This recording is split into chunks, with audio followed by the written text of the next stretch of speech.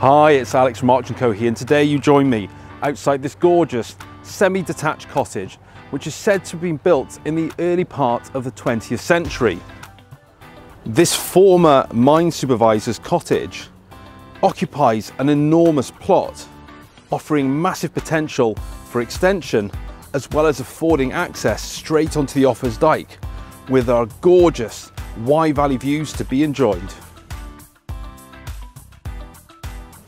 Coming inside to the ground floor, you have two reception spaces, one of which leads off into a small extension where you have the kitchen, which in turn leads into the conservatory.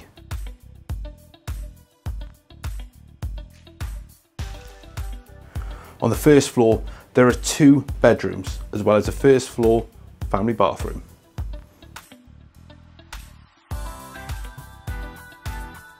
This property once used to host a range of raised vegetable beds, making this garden ideal for those who are a little bit green-fingered.